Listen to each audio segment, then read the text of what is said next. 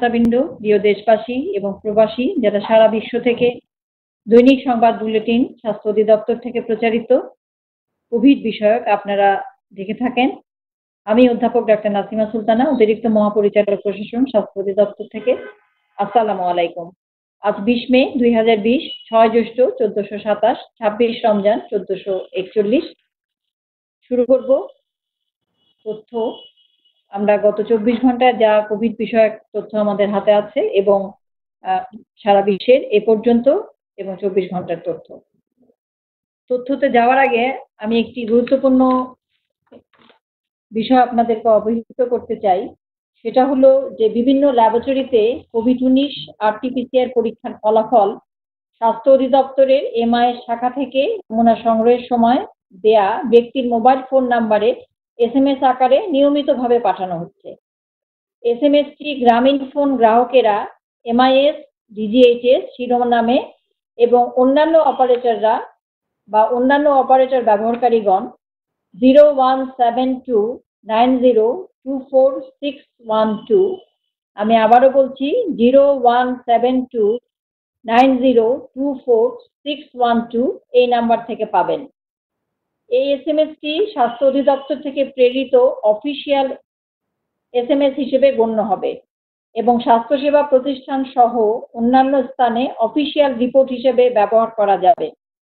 এ ব্যাপারে স্বাস্থ্যসেবার প্রতিষ্ঠান সহ সংশ্লিষ্টদের সহযোগিতা করার অনুরোধ জানাচ্ছি।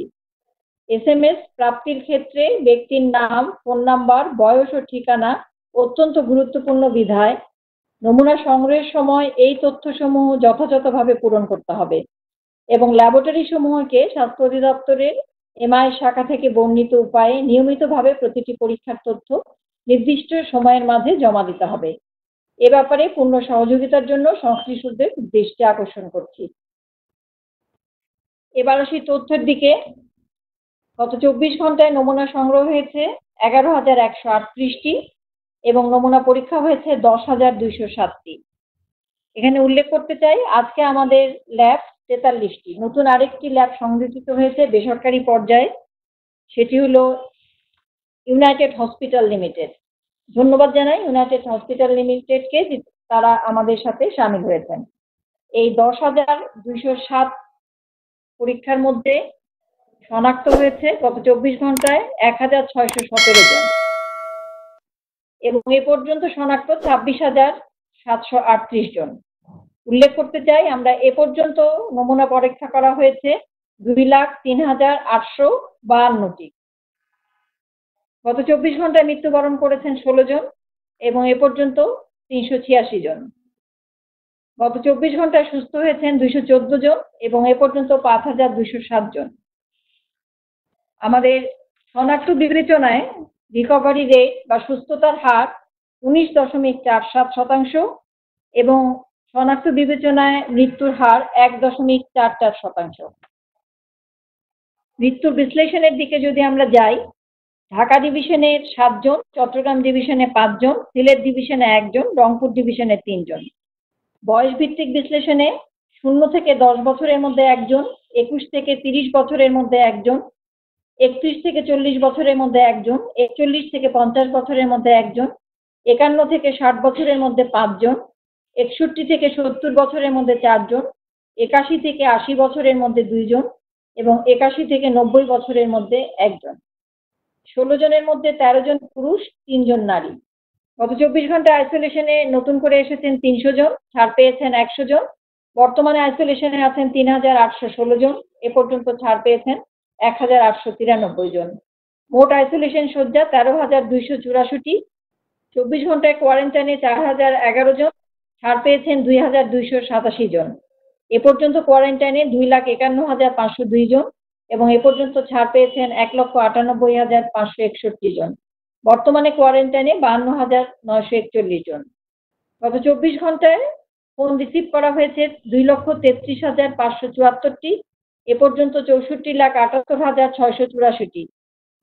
অনলাইন প্ল্যাটফর্ম মুক্ত পাঠে হটলাইন সেবা দেওয়ার জন্য প্রশিক্ষণপ্রাপ্ত চিকিৎসক ষোলো হাজার একাশি জন, গত চব্বিশ ঘন্টায় বেড়েছে তিরিশ জন। বর্তমানে স্বেচ্ছাভিত্তিতে সেবা দিয়ে যাচ্ছেন চার হাজার একশো চুরানব্বই জন চিকিৎসক এবং গত চব্বিশ ঘন্টায় আরও সংযোজিত হয়েছেন এগারো জন চিকিৎসক। সকল চিকিৎসককে অনেক অনেক ধন্যবাদ এবং কৃতজ্ঞতা জানাই। চব্বিশ ঘন্টায় মোট স্ক্রিনিং এর সংখ্যা এক হাজার দুইশো চুরানব্বই জন এবং এ পর্যন্ত ছয় লাখ একানব্বই হাজার, ছয় লাখ একানব্বই হাজার সাতশো বত্রিশ জন। এই ছিল বাংলাদেশের চব্বিশ ঘণ্টা এবং এ পর্যন্ত তথ্য। দক্ষিণ পূর্ব এশিয়ায় চব্বিশ ঘণ্টা শনাক্ত হয়েছেন সাত হাজার একশো আটষট্টি জন, এ পর্যন্ত এক লাখ আটচল্লিশ হাজার সাতশো একষট্টি জন। মৃত্যুবরণ করেছেন একশো আটানব্বই জন এবং এ পর্যন্ত চার হাজার সাতশো আশি জন। বিশ্ব স্বাস্থ্য সংস্থার সিচুয়েশন রিপোর্ট থেকে আমরা এই তথ্যগুলো পেয়েছি এবং আরও তথ্য পেয়েছি আমরা বিশ্বের কোভিড পরিস্থিতি। সারা বিশ্বে শনাক্ত হয়েছে চব্বিশ ঘন্টায় এক লক্ষ বারো হাজার ছয়শো সাঁত্রিশ জন। এ পর্যন্ত সাতচল্লিশ লক্ষ একত্রিশ হাজার চারশো আটান্ন জন। মৃত্যুবরণ করেছেন চব্বিশ হাজার। চব্বিশ ঘন্টায় চার হাজার তিনশো বাইশ জন এবং এ পর্যন্ত তিন লক্ষ ষোলো হাজার একশো উনসত্তর জন। এই ছিল আমাদের হাতে বাংলাদেশ পরিস্থিতি, দক্ষিণ এশিয়া পরিস্থিতি এবং বিশ্ব পরিস্থিতি। শেষ করব, তবে যাবার আগে আবারও স্মরণ করিয়ে দিব, আপনার সুরক্ষা আপনার হাতে, আপনার সুস্থতা অনেকাংশে আপনার উপর নির্ভর করছে। ঘরে থাকুন, নিজেকে সুরক্ষিত রাখুন সর্বসময় মাস্ক ব্যবহার করবেন, বারবার সাবান পানি দিয়ে বিশ সেকেন্ড ধরে হাত ধুবেন, বেশি করে তরল খাবার এবং পানি গ্রহণ করবেন, খাদ্য তালিকায় ভিটামিন সি সমৃদ্ধ খাবার শাকসবজি এবং ফল, টাটকা ফল এগুলো রাখবেন, যেগুলো লেবু জাতীয় ফল সেগুলোর মধ্যে আমরা অনেক পরিমাণে ভিটামিন সি পাই।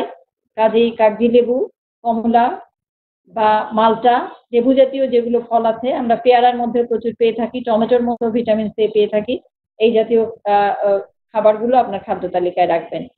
এবং সবসময় মানসিকভাবে উৎফুল্ল থাকবেন, মানসিকভাবে উজ্জীবিত থাকবেন মনোবলকে চাঙ্গা রাখবেন। যারা ইতিমধ্যে আক্রান্ত হয়েছেন, তারা আমরা যে স্বাস্থ্যবিধিগুলো বলে থাকি, সেগুলো নিয়ম মতো পালন করবেন। কুসুম গরম পানি নিয়মিতভাবে কুসুম গরম পানি পান করবেন। গরম পানি লবণ সহকারে গরম পানি গার্গেল করবেন এবং যা মশলা জাতীয়, অনেকেরই অভিজ্ঞতা থেকে জানা যাচ্ছে যে মশলা জাতীয় দিয়ে আমরা যদি মশলা যেমন আদা বা লবঙ্গ এই জাতীয় মশলা দিয়ে পানি গরম করে সেই পানি দিয়ে গার্গেল করা এবং পানিটি পান করলে অনেকেই তাদের অভিজ্ঞতা থেকে বলছেন যে তারা এটাতে সুস্থ বোধ করেছেন। আপনারাও যারা আক্রান্ত আছেন, তারা এইগুলো ফলো করতে পারেন।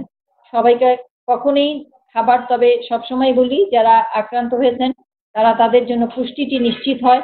সেই ব্যাপারে নিজেরাও খেয়াল রাখবেন এবং পরিবারের সদস্যরাও যেন এই বিষয়ে খেয়াল রাখে। যারা আক্রান্ত ব্যক্তি, তাদের পুষ্টি সবসময় শরীরে রোগ প্রতিরোধ ক্ষমতাকে বাড়ানোর জন্য এবং রোগ প্রতিরোধের জন্য আমাদের পুষ্টিকর খাবার গ্রহণ করাটা অবশ্যই খুবই দরকার এবং সেই জন্য যেন আমরা পুষ্টিকর খাবারগুলো গ্রহণ করি। এই এই বিষয়ে যেন আমরা কখনোই অবহেলা না করি। অনেক সময় খাদ্য গ্রহণে রুচি নষ্ট হয়ে যায় বা খাবারের স্বাদগন্ধ পাওয়া যায় না। এগুলো অনেকেই যারা আক্রান্ত তাদের কাছ থেকে আমরা জানতে পারছি। কাজে এটা হলেও আপনারা খাবার গ্রহণ করা থেকে কখনো বিরত থাকবেন না। নিয়মিতভাবেই পুষ্টিকর খাবার, পানি এগুলো চালিয়ে যাবেন। কারণ শরীরের সুরক্ষার জন্য, স্বাস্থ্য ভালো রাখার জন্য এগুলো মানা খুবই দরকার। আপনাদের সবাইকে অনেক অনেক ধন্যবাদ এবং কৃতজ্ঞতা। আসসালামু আলাইকুম।